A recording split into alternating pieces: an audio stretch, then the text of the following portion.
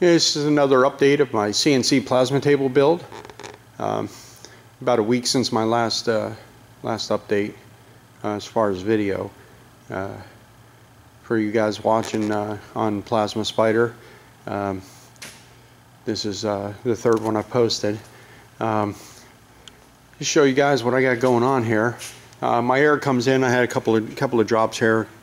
Comes up. There's a uh, valve here to uh, drain here. Comes back up, over, drops down. Uh, I have one run that uh, is just straight air into my hose reel for general use. Um, before, I, before I have anything that hits the plasma, comes out, there's a water filter separator. Comes out of there, goes into a second filter and regulates the pressure down. Comes out of there, drops down into the ever popular Deaquavator. This is basically a, um, an air dryer that came out of a dentist office that was being remodeled and I gave $40 for it off of Craigslist and it works pretty darn good. So we come out of there and we go into a desiccant dryer and uh, out of there finally into the PowerMax 1250. So that's my air setup.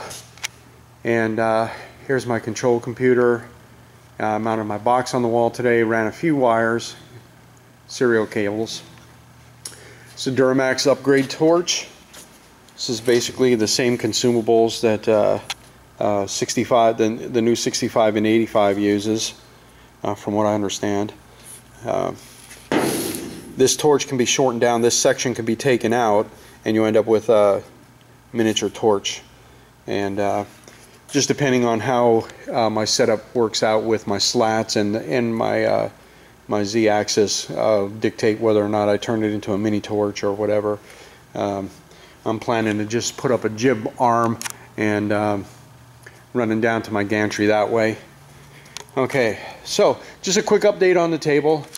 Um, gantry is pretty much done. I ran some uh, some really nice, highly abrasion resistant uh, cable wrap um, into some uh, heat shrink tubing. Ran that wire through uh, the center of the gantry, the 8020 stuff. Okay, that comes over, and then on my on my other motors, they connect up here same thing, heat shrink tubing going into the wire wrap into my E-chain.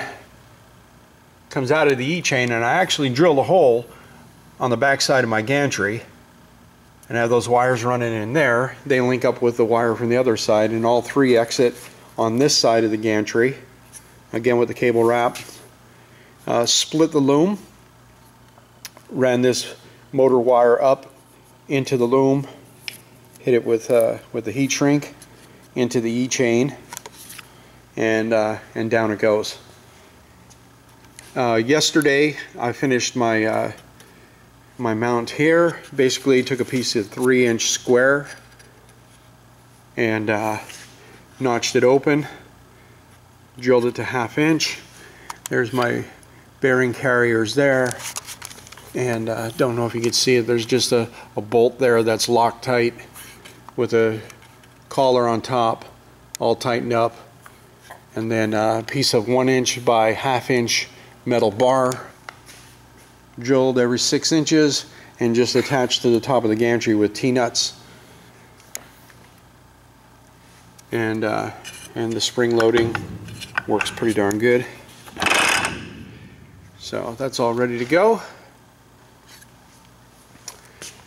And uh, I got to say a great big thanks to uh, to Bill, plain old Bill on the on the uh, on the forum. Uh, he came over to visit today, and he knew I needed a piece of uh, e-chain, and uh, totally hooked me up. So we did a little horse trading, and I ended up with two really nice pieces of e-chain that just are really really nice. Uh, so I welded on little support today. It's going to work out nice. Anchor it down here and then actually I'm going to weld a little step on here so that when I'm up uh, fiddle farting around with the with the uh, with the plasma, uh, I got something to step up on. So, uh, the other thing, when I ordered my motors, Tom asked me specifically if I wanted longer cables on my motors and uh, didn't think I needed them at the time. I was wrong. You were right, Tom. So uh, you can see the little piece of blue tape in there, um, tape the wires together when I was pulling them. So I have to do some splices to get this last little bit over to the controller. So no big deal, just some extra time spent uh, doing what I should have done in the first place and just ordering longer cables. So no big deal. Uh, so that's it. That's a, a, update on my table. So far, I'm really happy with the way things have gone. Uh, this has really tested my skills um, on, on, every front: electronics, uh, fabrication, cutting, welding, uh, everything. So uh, I'm really, really happy with the results so far. So. Um, once I get the uh, the controller hooked up and configured and cutting, um, man, if I could do a backflip on camera, I would, but uh, that's not going to happen. So there's a there's an update on my CNC table build. Um, going to try and be in the shop tomorrow, uh, extend those cables, hook up the controller, uh, do a little bit of playing around, uh, just cleaning up, uh, wrapping cables, zip stripping them, uh, and maybe even installing some software and doing some configuring. Um, never know, Sunday might fire it up just to see if this thing will move. So stay tuned and um, thanks for all the help and support. Thanks a lot to, to Bill. He's been a real big help, pointing me in the right direction, giving me ideas that I then took and uh, and uh, used and tweaked a little bit to the way I wanted to build the table. So so far, I think it's been a pretty clean build. The install of all the cabling is pretty clean. Uh, the way I came up with the gantry, I'm really satisfied with. Uh, rolls really nice, uh, lot, uh, not a lot of resistance. So uh, I'm just hoping it, uh, the weight doesn't become an issue. I, I, think I'm right at around 80, 90 pounds or so. Don't think I topped out over 100 pounds on the gantry. So according to Tom, as long as I'm under 100 pounds, the motor should do a really good job of moving this gantry and give me some good cuts. So there's my table update. Uh, stay tuned and hopefully within the next week we'll be cutting some steel on this thing.